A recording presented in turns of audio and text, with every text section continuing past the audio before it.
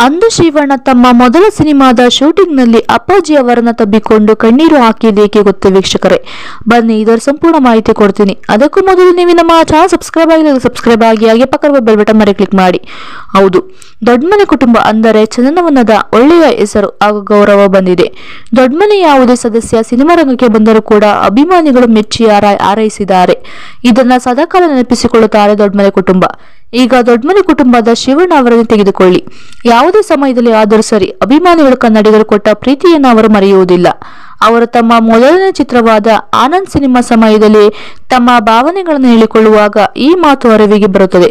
ಹೌದು hat-trick hero Shivraj Kumar ಅವರು ಕಳೆದ ಮೂವತ್ತೈದು ವರ್ಷಗಳಿಂದ ಕನ್ನಡ ಚಿತ್ರರಂಗದಲ್ಲಿ ಸಾಕಷ್ಟು ಸಾಧನೆಗಳನ್ನು ಮಾಡಿದ್ದಾರೆ.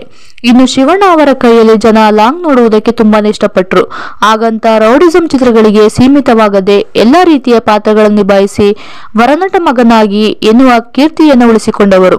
ಇನ್ನು ಶಿವಣ್ಣ ಹಲವು ಸಂದರ್ಭಗಳಲ್ಲಿ ತನ್ನ ಈ ಗೆಲುವಿಗೆ ತನ್ನ ಪಾತ್ರವನ್ನು ಸೃಷ್ಟಿಸಿದ ಸಿನಿಮಾ ನಿರ್ದೇಶಕರು ಹಾಗೂ ಅದನ್ನು ನೋಡಿ ಶುಭ ಹಾರೈಸಿದ ನೀವುಗಳು, ಅಂದರೆ ಅಭಿಮಾನಿ ದೇವರುಗಳು ಕಾರಣ ಅಂತ ಹೇಳುತ್ತಾರೆ.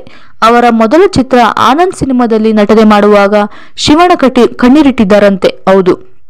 ಆನಂದ್ ಸಿನಿಮಾದ ಶೂಟಿಂಗ್ಗಾಗಿ ಮುಹೂರ್ತದ ಇಡುವ ಸಮಯದಲ್ಲಿ ಶಿವಣ್ಣ ಅವರ ಜೊತೆ ಚಿತ್ರತಂಡ ಹಾಗೂ ಅವರ ಅಪ್ಪ, ಅಮ್ಮ ಎಲ್ಲರೂ ಕೂಡ ಜೊತೆಗೆ ಇದ್ದರು.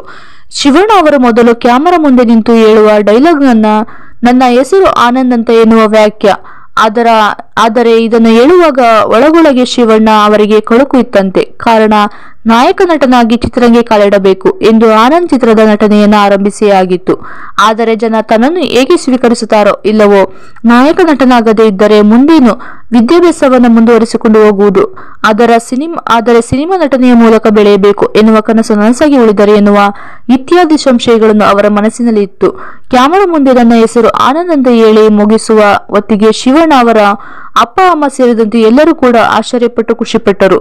ಆದರೆ ಶಿವಣ್ಣ ಮಾತ್ರ ಓಡಿ ಹೋಗಿ ಅಪ್ಪನನ್ನು ತಬ್ಬಿಕೊಂಡು ಜೋರಾಗಿ ಕಣ್ಣೀರಿಟ್ಟಿದ್ದಾರಂತೆ. ಇಲ್ಲಿ ಖುಷಿ, ದುಃಖ ಎಲ್ಲವೂ ಇತ್ತು. ಅಪ್ಪಾಜಿ ಆಗ ಏನೂ ಆಗುವುದಿಲ್ಲ.